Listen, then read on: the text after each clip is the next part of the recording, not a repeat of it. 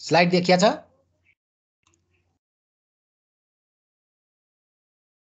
छ कि छैन? छैन सर। छैन सर। स्लाइड देखिया होइन छैन सर।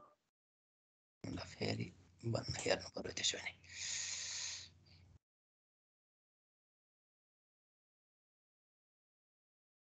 अहिले देखियो?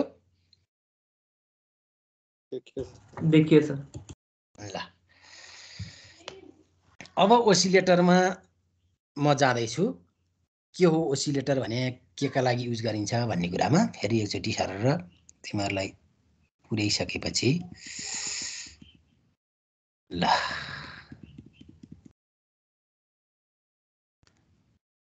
अघि भर्खर मैले नेगेटिभ फिडब्याक र पोजिटिभ फिडब्याकको कुरा गरेँ।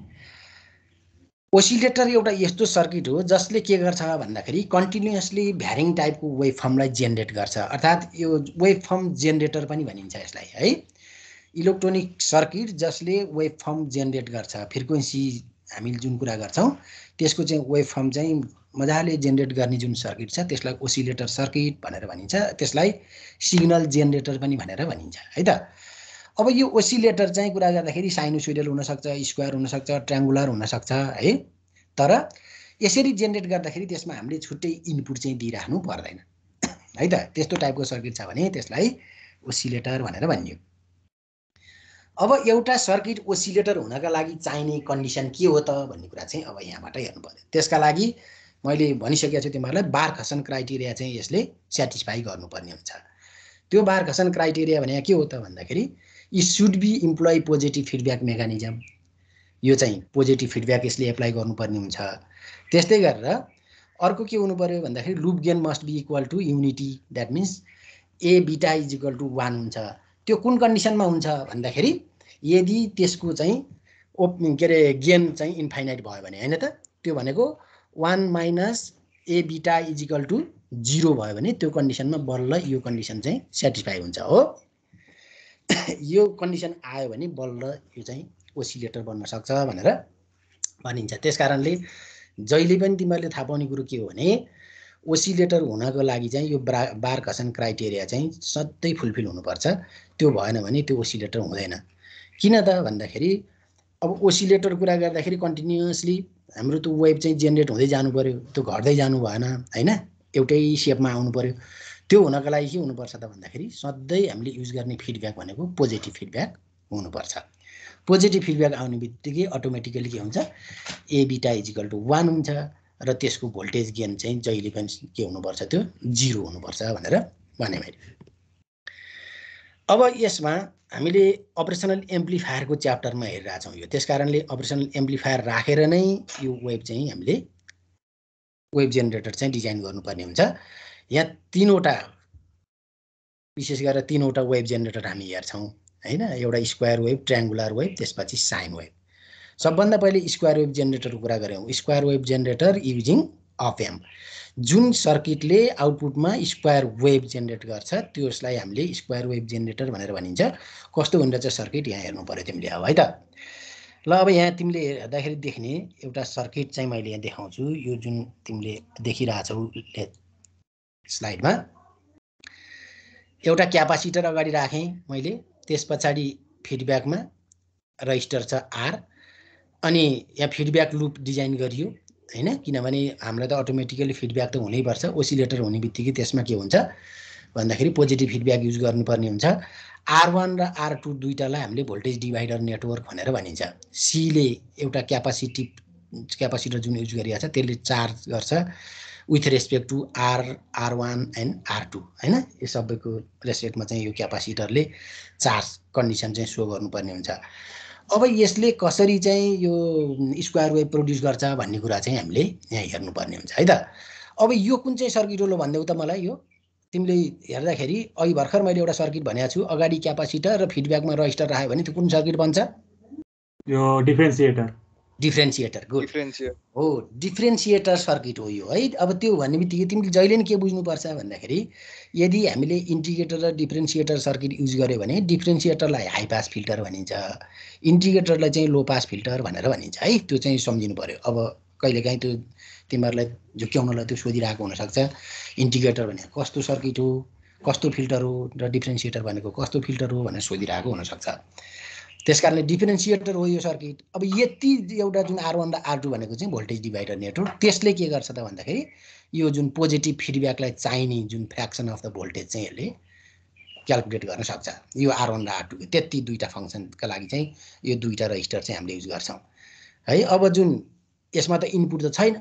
सिधै चाहिँ सप्लाई दिएको छ। सप्लाईको आधारमा R one R two biasing त्यसले सेट गरेको छ। त्यसका आधारमा बल्ल त्यसले के गरेको छ? आउटपुटमा वेभ जेनेरेट गरेको छ।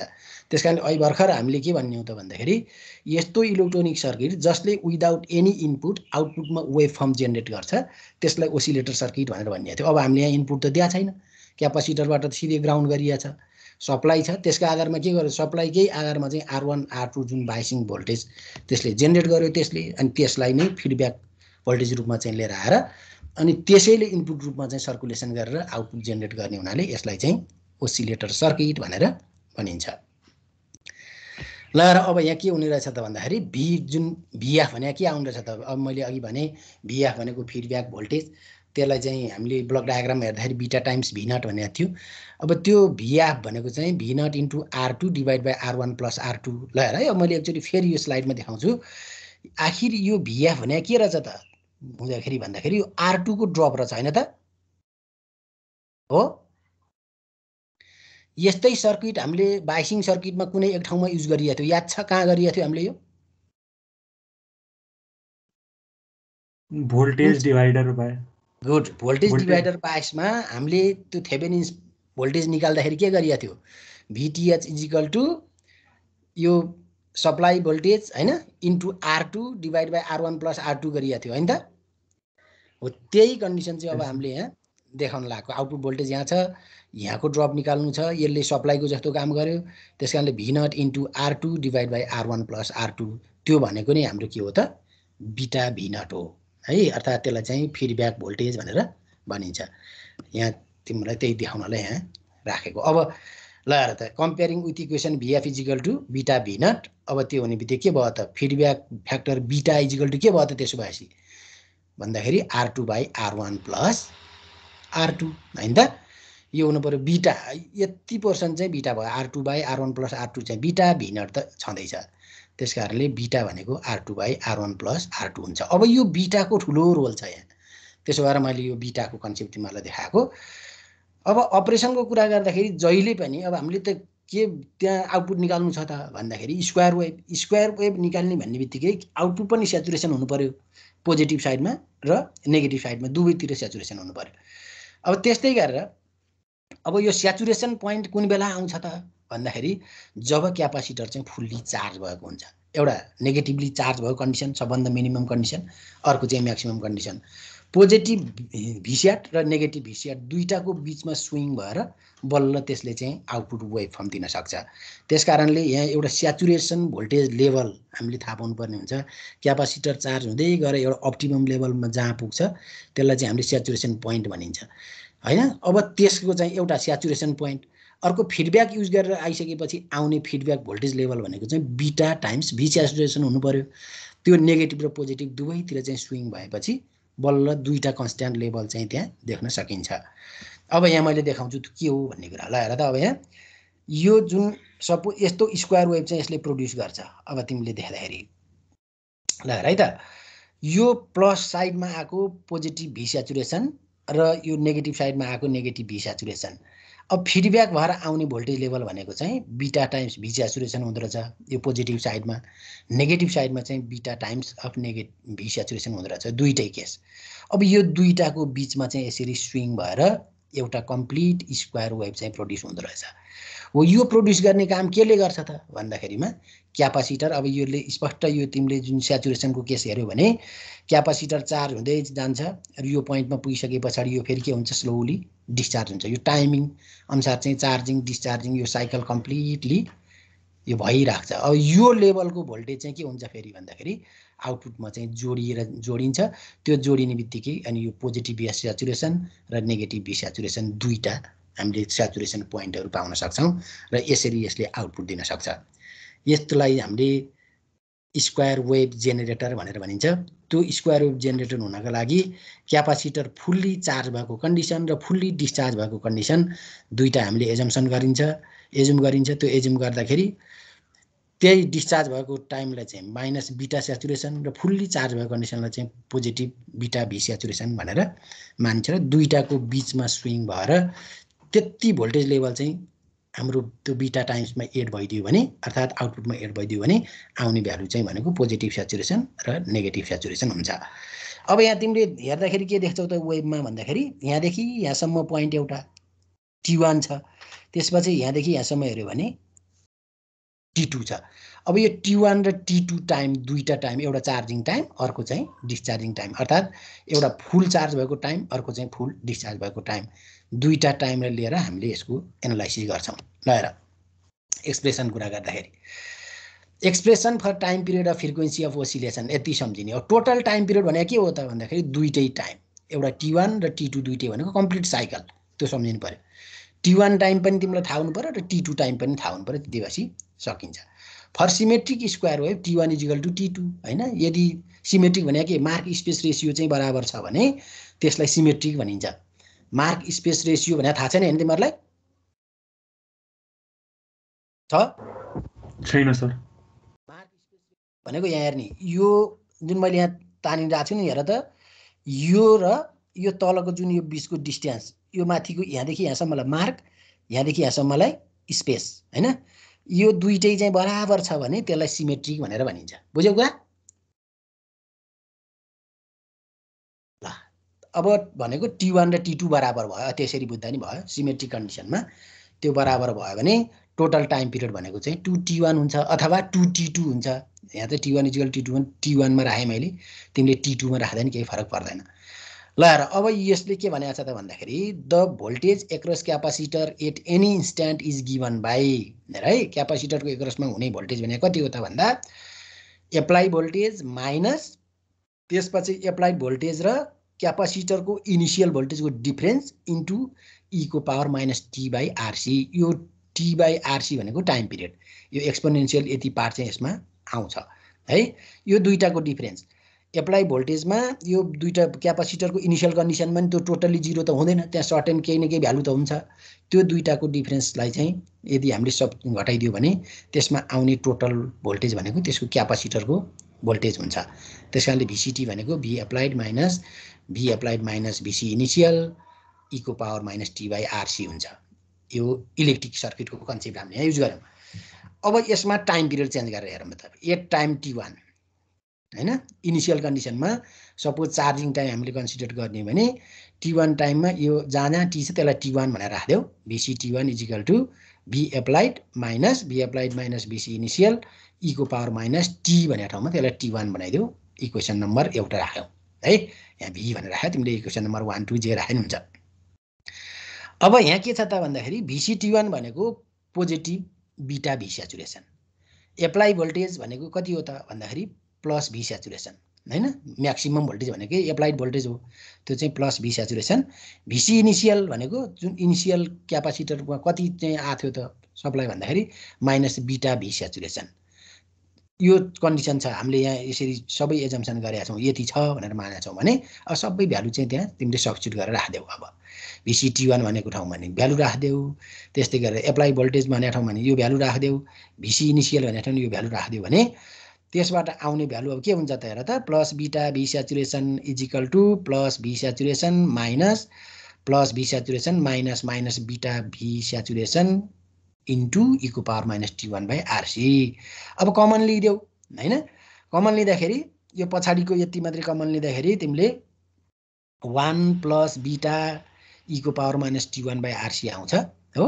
र one minus beta that is equal to one minus beta हुन्छ है? त्यो त एकैचोटि गरिदिएको छ त्यो काटेर चाहिँ फालिसकेको छ है? त्यो जुन भी सेचुरेसन भन्ने पोइन्टलाई चाहिँ। अब भन्नाले टोटल्ली यो वान प्लस बिटा र टाइमको टर्ममा मात्रै आयो बिटाको टर्ममा मात्रै निकाल्न खोजेको।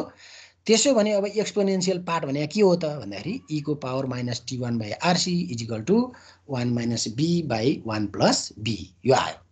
यो इजिकल टु यसको दुइटा रेसियो तिमीले यहाँ देख्न सक्छौ। यहाँ एक्सपोनेन्सियल पार्ट आयो अब। Eco power minus T one by RC is equal to one minus B by one plus B मैले बी भनिरहेको छु है बिटालाई। तिमीले त्यो बिटा भनेर बुझ्नु। ल अब त्यसो भने टी वान भने के आयो त त्यसो भए? दुवैतिर लग लिइदियो भने T one equal to minus RC LN one minus B by one plus B यो एक्सपोनेन्सियल हटाउनलाई हामीले त्यहाँ लग लिएको दुवैतिर लग लिइदियो भने एक्सपोनेन्सियल हट्छ। होइन त?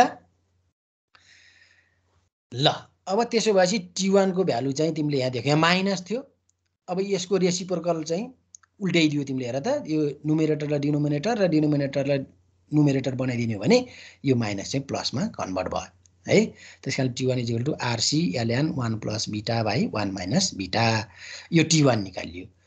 अब T is equal to two T one हामीले सुरुमा हेरेका थियौँ होइन? अब त्यसमा यो भ्यालु तिमीले राखिदियो भने यो टोटल टाइम पिरियड भनेको two RC LN one plus beta by one minus beta हुन्छ। यो टाइम पिरियड चाहिँ यसलाई। यदि R one is equal to R two छ भने त्यो बेलामा one plus beta by one minus beta is equal to three हुन्छ। है? अब दुवै बराबर छ रजिस्टरको भ्यालु बराबर छ भने यो थ्री हुन्छ।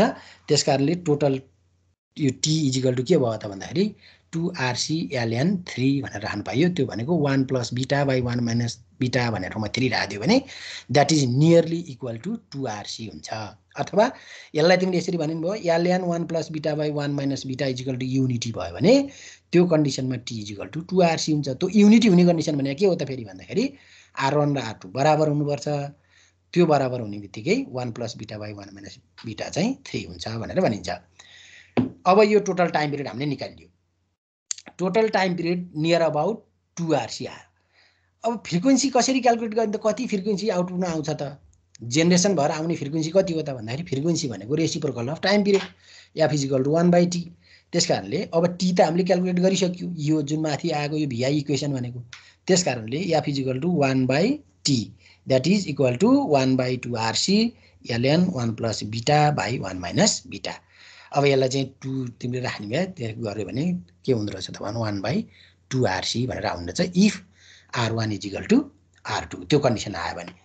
हो अब यो चाहिँ हाम्रो कसरी टाइम पिरियड क्यालकुलेट गर्ने र टाइम पिरियड आइसकेपछि फ्रिक्वेन्सी कसरी क्यालकुलेट गर्ने भन्ने कुरा चाहिँ यो एउटा स्क्वायर वेभ जेनेरेटरमा यसरी क्यालकुलेट गर्न सकिन्छ भन्ने कुरा मैले यहाँ तिमीहरूलाई देखाएँ।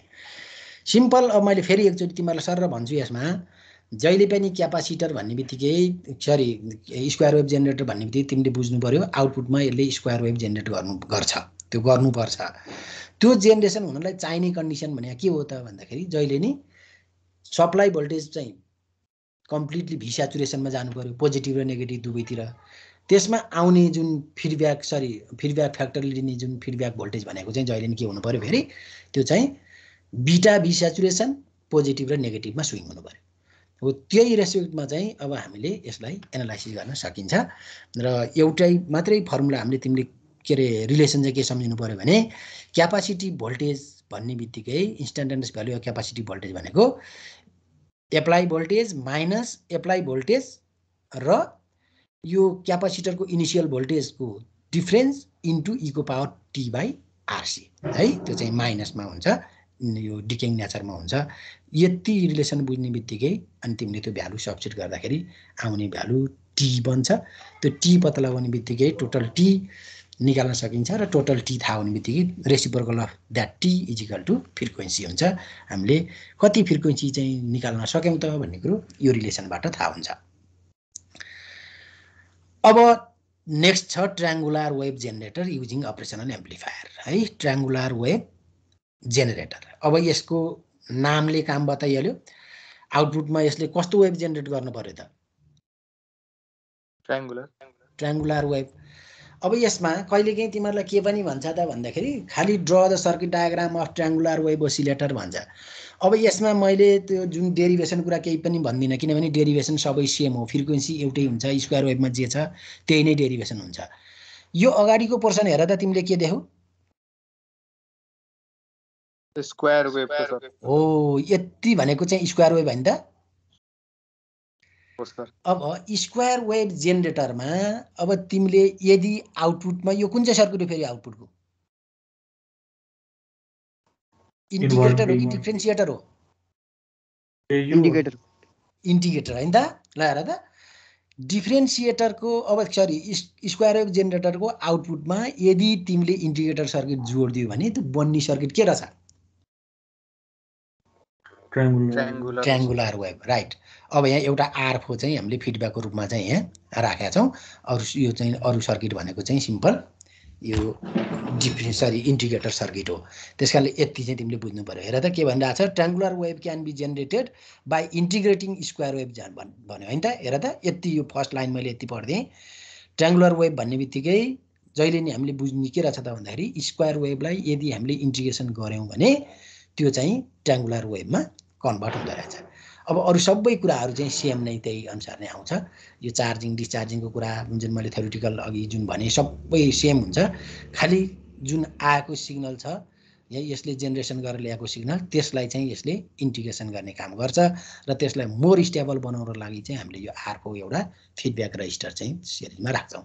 नि यही नै हो कुरो है। अब यति मात्रै चाहिँ हामीले लिने अघि चाहिँ सिम्पल चार्जिङ कन्डिसन मात्रै थियो भने अब यसमा चाहिँ तिमीले देख्दाखेरि यो square wave is converted into triangular wave after integrating this square wave signal. ल यो चाहिँ ट्रायङ्गुलर वेभको कुरा म त्यस कारणले स्क्वायर वेभ भनेपछि ट्रायङ्गुलर वेभको चाहिँ खासै त्यति धेरै भनिरहनु पर्दैन। अब मैले फेरि तिमीलाई। एकचोटि सर रिपिट गराउँछु। फेरि सुन। के अरे पहिला तिमीले स्क्वायर वेभको कन्सेप्ट भन त। त्यो ट्रायङ्गुलर वेभमा चाहिँ सेचुरेसन पोइन्टमा पुग्दैन सर। हो त्यही त नि। यो मैले भन्न तिमीहरूले बुझ्यौ होला भनेर भनेन अघि हामीले हेरी यो जुन अहिले यहाँ भिटी र माइनस भिटी लेखा पोइन्ट थियो नि त्यो पोइन्टमा हामीले के लेखेका थियौँ? थाहा छ तिमीलाई अघि स्क्वायर वेभमा? बिटा बिटा टाइम्स बिटा। भी स्याचुरेसन गरिएको थियो होइन त? अनि यसमा नि तल आउँदाखेरि माइनस बिटा टाइम्स भी स्याचुरेसन गरिएको थियो नि होइन? हो? हो। अब त्यही दुइटाको बिचमा चाहिँ यसको आउटपुट आउँछ ट्रायङ्गुलर। यो क्यापासिटर चार्जिङ डिस्चार्जिङ हुँदाखेरि यति आउँछ। यो किन यस्तो भएको हो भन्दाखेरि अब तिमीले योबाट एउटा कन्क्लुजन त निकाल्यौ नि त। जस्तो यो स्क्वायर वेभको र ट्रायङ्गुलर वेभको चाहिँ तिमीले कम्पेयर गरेर हेर्दाखेरि यो ट्रायङ्गुलर वेभको एम्प्लिच्युड त घट्दो रहेछ नि त होइन र? हो कि होइन? हो। त्यस कारणले यो क्यापासिटिभ चार्जिङ डिस्चार्जिङ नेचरबाट मात्रै यो ट्रायङ्गुलर वेभ आउँछ। त्यस कारणले यो यहाँ चाहिँ बिटा भी सेचुरेसन भन्ने टर्म भनेकै यो थ्रेसोल्ड भोल्टेज भिटी यो माइनस भिटीलाई थ्रेसोल्ड भनेर त्यसलाई रिप्लेस गरेको। यो भी सेचुरेसनसम्म जाँदैन। स्क्वायर वेभ भन्दा केही कम हुन्छ। बुझ्यौ?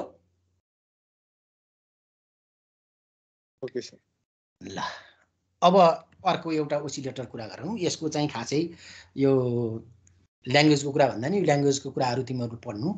यसलाई साइन वेभ ओसिलेटर भनिन्छ। कहिलेकाहीँ तिमीहरूलाई साइन वेभ ओसिलेटर के अरे बनाऊ भनेर सोध्छ। धेरै जसो विनब्रिज ओसिलेटरको कुरा गर्दाखेरि draw the circuit diagram of Wien bridge oscillator भनेर सोधिरहेको हुन्छ। है? अब यो चाहिँ अघि हामीले जुन भन्यो त्यो स्क्वायर वेभ र ट्रायङ्गुलर वेभ ओसिलेटर यो भनेको अहिले जुन विनब्रिज ओसिलेटर कुरा गर्दैछु मैले यसलाई चाहिँ साइन वेभ ओसिलेटर भनिन्छ।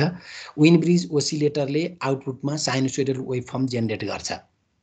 अब त्यसका लागि चाहिने कन् यो जुन कन्डिसनहरू भनेको तिमीलाई थाहा छ यसले बार खसन क्राइटेरिया चाहिँ फुलफिल गर्नु पऱ्यो पोजिटिभ फिडब्याक हुनु पऱ्यो त्यसको चाहिँ A times beta is equal to one हुनु पऱ्यो भनेको के हुनु पऱ्यो त भन्दाखेरि ए बिटा इजिकल टु वान कन्डिसन आउनको लागि त्यसको open loop gain must be equal to infinity हुनु पऱ्यो। हो यो कन्डिसन चाहिँ हामीले थाहा पाउनुपर्ने हुन्छ है? अब डायग्रामको कुरा गर्दाखेरि यस्तो हुन्छ तिमीहरूले यति मात्रै डायग्राम बनाऊ भनेर दुई नम्बर अथवा तिन नम्बरको चाहिँ सोधिरहेको हुन्छ है? त्यो एक्जाममा डायग्राम मात्रै बनाऊ भन्छ। तर डायग्राम मात्रै बनाऊ भन्दाखेरि तिमीहरूले सिधै खालि डायग्राम मात्रै चाहिँ नबनाउने। डायग्राम बनाइसकेपछि कमसेकम यसको फ्रिक्वेन्सी कति हुन्छ त्यो लास्टमा एउटा फ्रिक्वेन्सीको टर्म लेखिदिने होइन? अनि यसलाई चाहिँ यसो दुई लाइन तिन लाइनको चाहिँ यो एउटा साइन वेभ जेनेरेटर हो भनेर त्यो चाहिँ केही कुराहरू चाहिँ लेख्नुपर्ने हुन्छ। खालि डायग्राम मात्रै बनाएर नछोड्ने किनभने त्यो चेक गर्दाखेरि तिमीहरूलाई अलि नम्बर दिउँ दिउँ पनि बनाउनु पर्ने हुन्छ है त? क्वेसनमा चाहिँ तिमीहरूलाई सोध्यो भने के भन्छ त भन्दाखेरि draw the circuit diagram of Wien bridge oscillator भनेर भनिरहेको हुन्छ। ल अब यसमा फेरि म्याथमेटिकल टर्मकै कुरा गर्नुपर्ने हुन्छ। यो त सिम्पल एउटा इन्भर्टिङ एम्प्लिफायर हो। यहाँदेखि यहाँसम्म तिमीले हेऱ्यौ भने है? तर के छ यहाँ इनपुट त ओसिलेटर भनेपछि दिनु परेन। यहाँ जुन फिडब्याक लुप अघि हामीले भन्दाखेरि यो स्क्वायर वेभमा चाहिँ आर वान र आर टू भनेर राखिएको थियो भने अब त्यसले मानेन यहाँ। साइन वेभ बनाउनु छ यहाँ त। साइन वेभ बनाउनको लागि चाहिँ यहाँ दुईवटा इम्पिडेन्स जेनेरेट गर्यो। है? यो भोल्टेज डिभाइडर नेटवर्कको रूपमा चाहिँ आर थ्री सी थ्री र आर फोर सी फोर। यो चाहिँ सेरिजमा राख्यो। सेरिज आरसी सर्किट यो चाहिँ प्यारलमा राख्यो। यो दुईवटाले यहाँ चाहिँ के गर्छ त भन्दाखेरि बिटा टाइम्स भिनट जेनेरेट गर्छ। अब यसको रेस्पेक्टमा कुरा गर्दाखेरि अघि मैले तिमीलाई भनिसकेको छु जहिले पनि हामीले यहाँ निकाल्ने बिटा भिनट भनेको अर्थात् भिएफ भनेको यो लास्टको जुन जेड टू यहाँ भन्दाखेरि जेड टू भन्नु पऱ्यो यो जेड टूको एक्रसमा ड्रप हुने भोल्टेज हुन्छ। जेड टूको एक्रसमा जति ड्रप हुन्छ त्यही ड्रप भनेको चाहिँ यसको फिडब्याक भोल्टेज हुन्छ। त्यो फिडब्याक भोल्टेज चाहिँ यसमा गएर सधैँ एड भइराख्नु पऱ्यो त्यसरी एड भइसकेपछि यसले कन्टिन्युसली चाहिँ साइन वेभ सिग्नल दिइरहन्छ। हो यही गर्नको लागि चाहिँ हामीले यहाँ आरसी नेटवर्क चाहिँ युज गर्छौँ। सिम्पल रजिस्टर नेटवर्कले भोल्टेज डिभाइड गरेर मात्रै यसले फङ्सन गर्न सक्दैन। यसमा चाहिँ भोल्टेज डिभाइडर नेटवर्कमै क्यापासिटर चाहिँ हामीले एड गर्छौँ। त्यो पनि सेरिज क्यापासिटेन्स र प्यारल क्यापासिटेन्स दुईवटा युज गरेर त्यसलाई जेड वान र जेड टू भनेर हामीले एजम्सन गरिन्छ र त्यसको आधारमा यहाँको ड्रप निकालेर अनि बल्ल त्यसको चाहिँ आउटपुट निकाल्न सकिन्छ है? ल आर थ्री र सी थ्री अब तिमीहरूलाई थाहा छ क्यापासिटरलाई सिरिजमा राख्दा के हुन्छ प्यारलमा राख्दा के हुन्छ यो सबै तिमीले गरिसकेका छौ। यो आर र यो आर थ्री प्लस जेएक्स यो एक्सी त्यस्तै अब यहाँ आर फोर प्लस जेएक्सको होइन? यो चाहिँ यो टर्मलाई चाहिँ तिमीले एनालाइसिस गरेर जेड वान र जेड टू भनेर मान अनि त्यो अनुसार चाहिँ तिमीले एनालाइसिस गर्न सकिन्छ। ए त्यही कुरा नै हो मैले यहाँ अघि जुन भनेको थिएँ सेम यसको डेरिभेसन कुरा गर्दाखेरि भिएफ भनेको V naught into Z two by Z one plus Z two होइन? अब यही मैले भर्खरै तिमीलाई भनेको कुरा। यहाँ आर वान र आर टू थियो भने जेड वान र जेड टू त्यही मैले चाहिँ देखाउन खोजेको। होइन बिटा अब तिमीले यहाँबाट निकाल्न सक्छौ। होइन बिटा भन्ने बित्तिकै के भयो त त्यस कारणले beta V naught is equal to VF हो। त्यस कारणले बिटा भनेको भिएफ बाई भी नट भनेर आयो। अब जेड वान भने के जेड टू भने के अब यहाँ तिमीले यहाँबाट निकाल्न सक्छौ। जेड वान भनेको R three plus JX three Z two भनेको R four into JX four divided by R four plus JX four यो त तिमीले पहिल्यै इलेक्ट्रिकलमा गरिसकेका छौ भ्यालु मात्रै सब्सिट गरिदिने हो। यहाँबाट बिटा तिमीले निकाल्न सक्छौ। होइन? ल त्यही कुरा। अब कन्डिसन मान्यो भने Z two is equal R into JX by R plus JX यस्तो आउँछ होइन? यो दुईवटा टर्म जेड वान र जेड टू तिमीले हेऱ्यौ। Condition R three R four र आर बराबर हुन्छ भनेर मान्यौ। C three is equal to C four हुन्छ भनेर मान्यो। यो सबै बराबर छ भनेर मानिदिने भने जेड वान र जेड टूको भ्यालु चाहिँ यस्तो हुन्छ। अब बिटालाई चाहिँ यहाँ तिमीले सब्सिट गरिदियो त्यसरी सबै भ्यालु यहाँ राखेर हेरिदियो होइन? अब बिटा कति आउँदो रहेछ त भन्दा तिमीले लास्टमा हेर्दाखेरिमा beta is equal to minus R into X divide by imaginary part J भनेको R square minus X square minus three R X होइन? For zero phase shift or to satisfy Barkhausen criteria होइन? के हुनु पऱ्यो त भन्दाखेरि बार कसन criteria satisfy गर्नलाई यो अगाडिको पोर्सन जुन इमेजिनेरी पार्ट छ नि अब तिमीले हेर्दाखेरि यो भनेको के हुन्छ? R square minus X square must be equal to zero हुनुपर्छ भन्छ। त्यसो भएपछि R is equal to X is equal to one by omega C अर्थात् सिडब्लु भनेको one by two two pi FC होइन? अब फ्रिक्वेन्सी भनेको के भयो त त्यस कारणले भन्दाखेरि one by two pi RC भनेर यति चाहिँ फ्रिक्वेन्सीहरूले जेनेरेट गर्दो रहेछ। त्यो कस्तो हो त यो? यो फ्रिक्वेन्सी भनेको साइन वेभ साइनोसोइडल फ्रिक्वेन्सी हो। त्यस कारणले आउटपुट तिमीले हेर्दाखेरि अघि पनि यही नै थियो। होइन? फ्रिक्वेन्सी लगभग सेम नै देखायो फर्मुला एउटै नै आयो। या f is equal to one by two pi RC नै आयो। अघि हामीले हेर्दाखेरि स्क्वायर वेभमा पनि त्यही नै आएको थियो। Beta is equal to one by three condition R र एक्स बराबर छ भन्यो भने त्यो आउँछ भनेको थिएँ। यदि beta equal to one by three छ भने त्यो कन्डिसनमा एएफ अर्थात् फिडब्याक गेन भनेको चाहिँ जहिले पनि थ्री हुन्छ भनेर भनिन्छ। अब जुन मैले फर्स्टमा चाहिँ युज गरेको थिएँ त्यही रिलेसन तिमीले राख्दाखेरि आउने भ्यालु यहाँ बिटा चाहिँ तिमीले निकाल्नु पऱ्यो बिटा निकाल्नलाई त्यसको चाहिँ रिलेसन थाहा पाउनु पऱ्यो त्यो भनेको जेड टू र जेड वान प्लस जेड टूको रिलेसन थाहा पाउनु पऱ्यो जेड वान यहाँ छ जेड टू पनि यहाँ छ। तिमीले चाहिँ कपीमा सर सार्नु पऱ्यो यो है? अनि त्यसो हुने बित्तिकै यो जेड वान र जेड टूको भ्यालु आउँछ त्यसलाई सिधै सब्सिट्युट गरिदेऊ। सब्सिट्युट गरिसकेपछि लास्टको जुन इमेजिनेरी पार्ट छ त्यसलाई चाहिँ जिरो मानिदेऊ। त्यो जिरो मानिदिने बित्तिकै के हुन्छ त भन्दाखेरि यसले चाहिँ बार्कासन क्राइटेरिया सेटिस्फाई गर्छ। अब त्यसरी सेटिस्फाई गरिसकेपछि आउने भ्यालु भनेको बिटाको भ्यालु जहिले पनि वान बाई थ्री हुन्छ। त्यो कसरी हुन्छ त भन्दाखेरि हेर योलाई जिरो राखिदियो तिमीले भने यो J R square minus X square यो टर्म जिरो हुने बित्तिकै के हुन्छ त? Minus RX divide by minus three RX हुन्छ। आरएक्स आरएक्स काट्यो वान बाई थ्री आउँछ। यो हो है त्यो बिटा निकालेको त्यहाँबाट हो। अनि त्यो भनेको एएफ इजिकल टु थ्री किनभने यो कसरी आएको? एएफ भनेको वान बाई बिटा हुन्छ। वान बाई बिटा भनेको थ्रीसँग बराबर हुन्छ। ल यसरी हामीले यसको रिलेसन हेर्न सक्छौँ। होइन? अब त्यो पछि वान प्लस बिटा भन्ने ठाउँमा यो भ्यालु सब्सिट गरेको। One plus R two by R one गरिदियो भने R is equal to three beta is equal to three हो त्यो भनेको। आर टू भनेको टु आर वान हुनु हुँदो रहेछ यसको भ्यालु। तिमीले हेऱ्यौ भने जहिले पनि यो साइनोसोइडल ओसिलेसनको लागि चाहिँ हुने भ्यालु भने के हुँदो रहेछ त भन्दाखेरि आर टूको हाफ चाहिँ के हुँदो रहेछ? टु आर वान हुँदो रहेछ। अथवा आर टू भनेको टु आर वानसँग बराबर हुँदो रहेछ। त्यो बुझ्नु पऱ्यो अब नुमेरिकलको कुरा गर्दा मैले यो सुरुमै क्लासमै भनेको छु तिमीहरूलाई सल्भ नुमेरिकल भनेर यो चाहिँ तिमीहरूले सर हेर्नु आफैले है? Five MB sir one kilo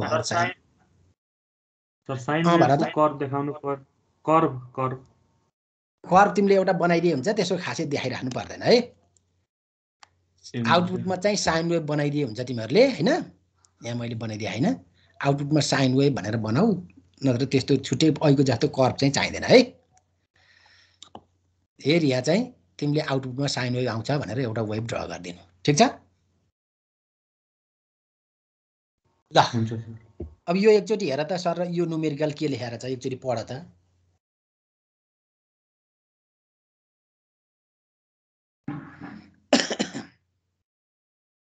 यसमा नौलो केही छ? तिमीले पढेर केही नौलो लाछ हेर त।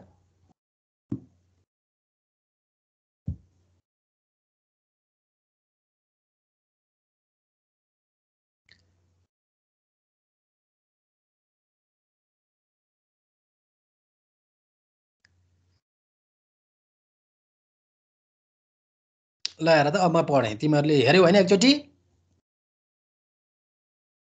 छ ल अब फाइभ मिलिभोल्ट वान किलो हर साइनोसोइडल सिग्नल यहाँ sinusoidal signal is applied to input of an op amp integrator for which R is equal to hundred kilo ohm and C is equal to one microfarad find the output voltage होइन त अब यसले के भन्यो हेर त? Input चाहिँ sinusoidal छ अरे। त्यसमा चाहिँ भोल्टेज कति दियो? फाइभ मिलिभोल्ट त्यस कारणले के हुनु पऱ्यो अब? साइनोसोइडल भन्ने बित्तिकै तिमीले फाइभ साइन ओमेगा टी होइन? हो कि होइन? साइनोसोइडल भनेपछि के हुनु पर्यो V is equal to VM sine omega T हुन्छ होइन. हो अब त्यस कारणले इनपुट भनेको भी इन भी इन भनेको भिएम उसले दियो फाइभ मिलिभोल्ट साइन सिग्नल भन्यो हुनाले sine two pi F T omega T भनेको ओमेगा भनेको टु पाइ एफ अनि टी भनेर एजिटी जताततै छ है? टु पाइ एफ टी भनेर लेखिदियो सिधै। यो एफ किन लेखेको? यहाँ फ्रिक्वेन्सी देखायो नि होइन? त्यस कारणले त्यो फ्रिक्वेन्सी हो। अब यहाँ राखिदियो। V in is equal to five sine two pi thousand T यो यो आएको क्लियर भयो?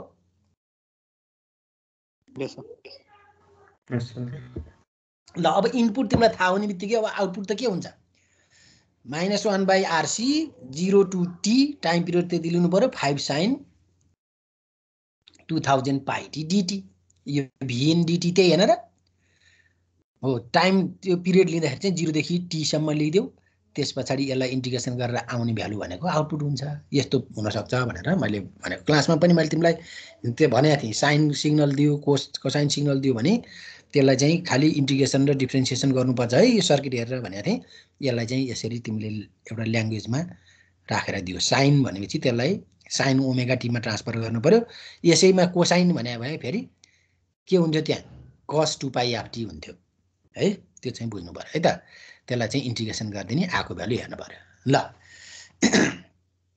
यो क्वेसन हेर त एकचोटि।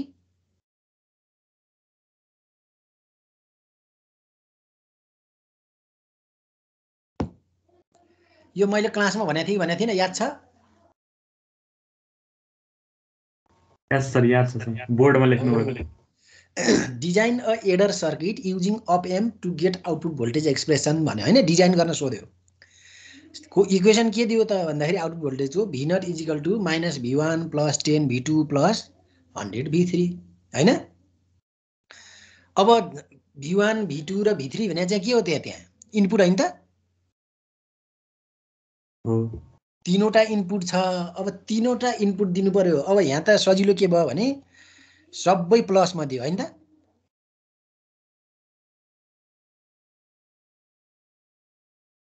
अब यसमा तिमीले सबभन्दा पहिला एउटा स्क्यामेटिक डायग्राम बनाइहाल्नु पर्यो।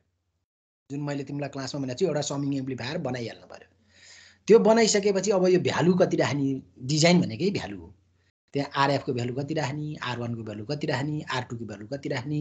आर थ्रीको भ्यालु कति राख्ने भन्ने कुरा चाहिँ यसको डिजाइनमा आयो सबैको भ्यालु बराबर भएको भए के हुन्थ्यो? के हुन्थ्यो? R1, डाइरेक्टली सम R- हुन्थ्यो हो सबैको भ्यालु बराबर भएको भए V naught is equal to minus V one plus V two plus V three हुन्थ्यो होइन? अब यसले के देखायो त त्यसो भए भन्दाखेरि ल हेर अब यहाँ लेख्ने relation let RF is equal to hundred kilo ohm kilo ओममा मान है जहिले नि भ्यालु मान्दाखेरि। मैले तिमीलाई भनेको छु यो यो रजिस्टरको भ्यालु जति पनि हुनसक्छ तिमीले आफूले एजम्सन गर्ने हो तर किलो ओममा एजम्सन गर। है ओममा नगर्नु। V naught is equal to minus RF V one by R one plus V two by R two plus V three by R three relation त्यही हो नि त? हो सर। हो। अब यसमा चाहिँ के गर्नु पर्यो? अब हामीलाई चाहिएको छ V naught is equal to V one भनेको जताततै हेऱ्या हेर्ने अब। यसमा राख्ने। आरएफ र आर वानको भ्यालु कति कति राख्ने भनेको? आरएफ कति मानिसक्यो हामीले? हन्ड्रेड। त्यसो भए आर वान कति राख्नु पर्यो? हन्ड्रेड। होइन? हो hundred by hundred is equal to V one यहाँ हेर्ने यो पनि हेर्ने यो पनि हेर्ने है रिलेसन त्यस पछाडि अब यहाँ कति छ? टेन भी टू भी टूलाई टेनले मल्टिप्लाई गर्नु पर्यो भनेको आरएफ बाई आर टू कति हुनु पर्यो टेन आउनु पर्यो सर टेन आउनु पर्यो गुड हो त्यही भन्न खोजेँ मैले। अब आरएफ त हाम्रो कति छ? हन्ड्रेड हन्ड्रेड छ भनेपछि आर टू कति राख्नु पर्यो टेन टेन गुड है यो बुझ है यसरी। अब फेरि हेर त भी थ्रीमा मल्टिप्लायर कति छ? हन्ड्रेड होइन? आरएफ कति राखिसक्यो हामीले? हन्ड्रेड हन्ड्रेड छ। अब आर थ्री कति. हुनुपर्छ? One One. होइन? हो गुड कुरो बुझ्यौ नि क्लियर भयो नि. हो हो, यसरी चाहिँ यसको भ्यालु पत्ता लगाउने हो हेर त। त्यस कारणले अब RF by R one that is equal to कति हुने भयो हाम्रो? वान होइन? त्यो लेख त्यो भनेको आरएफ र आर वान बराबर हुनु पऱ्यो। आरएफ हन्ड्रेड छ भनेपछि R one automatically hundred kilo भयो। अनि RF by R two is equal to यहाँ हुनु पऱ्यो कति? टेन दुइटालाई कम्पेयर गर्ने के? टेन हुनु पऱ्यो भनेपछि आरएफ त हन्ड्रेड छँदैछ भनेपछि आर टू के हुनु पऱ्यो? टेन तिमीले त्यो लेखिदिइहाल. त्यस्तै RF by R three is equal to hundred हुनु पऱ्यो भनेपछि आरएफ हन्ड्रेड छ आर थ्री कति हुनु पऱ्यो वान हो यसरी चाहिँ यहाँ जुन लास्टमा गरेको छ त्यो अनुसार कम्पेयर गर्दै लिने अनि त्यही भ्यालु राखेर अनि डायग्राम बनाउने। यति हो यसको डिजाइन ल हेर यो ठिक छ हेर त। ठिक छ छैन चेक गर त। ठिक छ sir. V one V two V three V one भनेको आरएफ बाई आर दुइटै बराबर छ राइट त्यस पछाडि आर टू भनेको ठाउँमा हामीले के हुन्थ्यो? टेन भी टू भनेको थियो होइन यो सेकेन्डमा RF by R two ten छ ठिक छ। अनि यो भनेको हन्ड्रेड भी थ्री थियो आरएफ बाई आर थ्री भनेको हन्ड्रेड यसरी। क्लियर छ? ल। अब नेक्स्ट हेर। ल यो एकचोटि राम्रोसँग हेर त। यो कपीमा पनि लेख्दै गर्दै गर है यो। यो चाहिँ कपीमा लेख त ल तिमीहरू। यो लेखेर बुझ्यौ बुझेनौ अनि मलाई भन ल। सबैले लेख यो।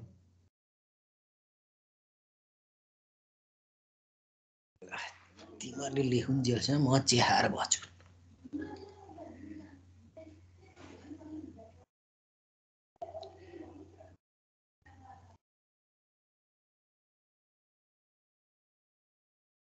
यो बुझ्नुपर्छ है फेरि यो तिमीहरूले यो पुराना क्वेसन प्याटर्न हेर्दै गर्नु यो यस्तो डिजाइनहरू चाहिँ सोधिरहेको हुन्छ।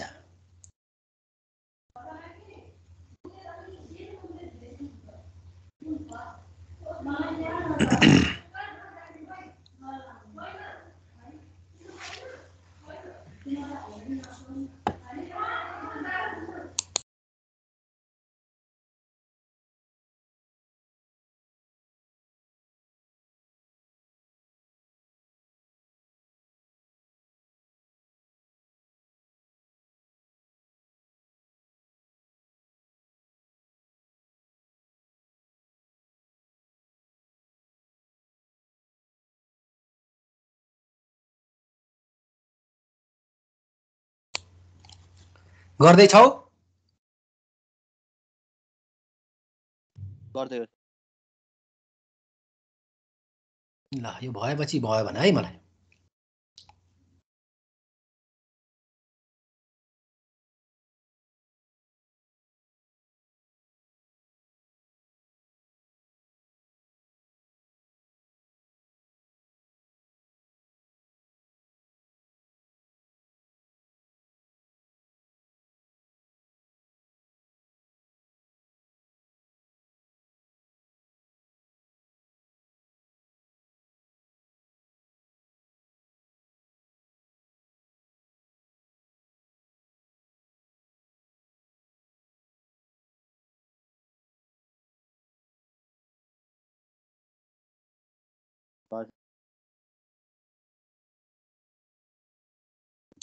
भयो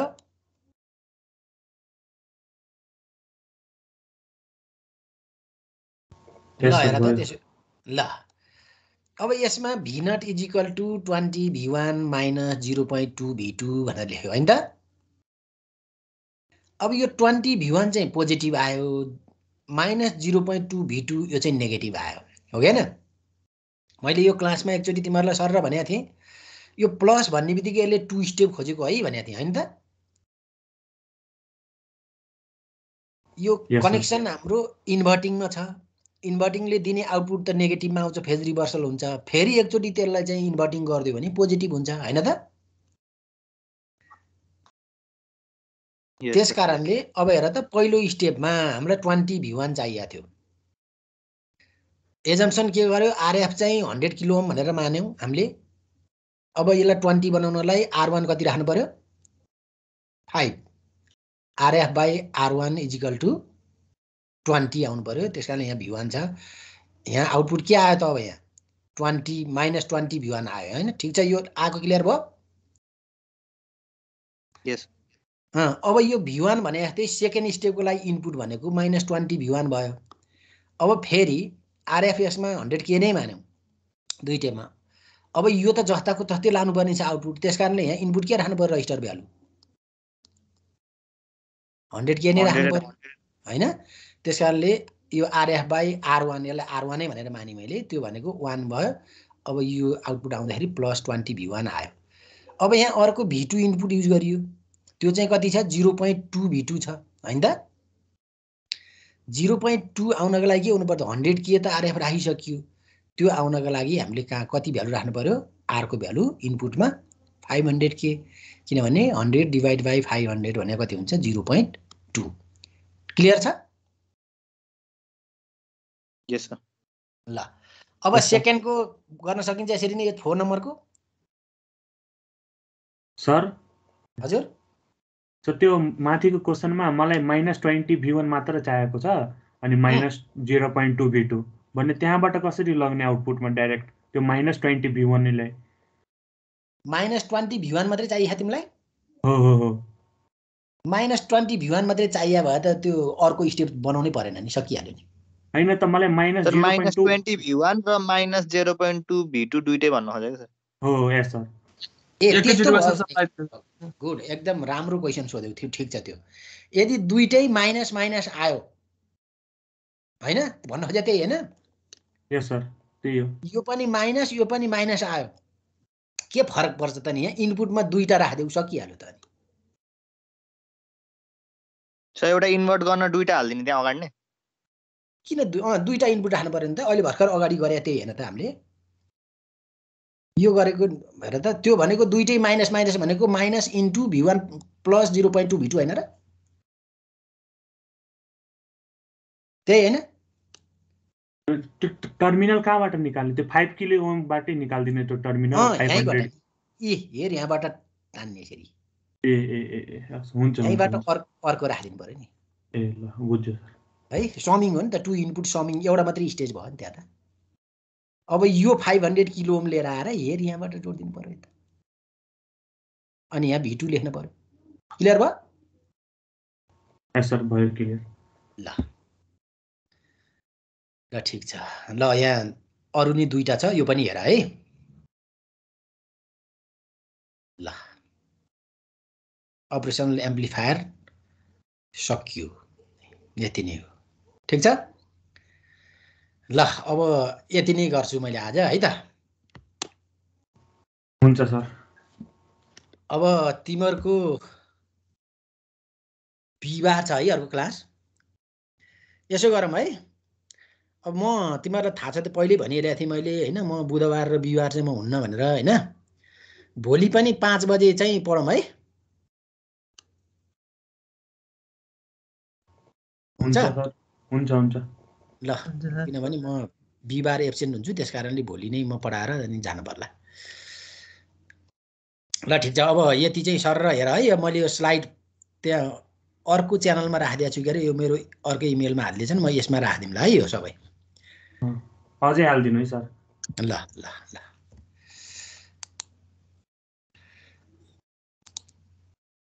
अब रेकर्ड चाहिँ बन्द गरौँ।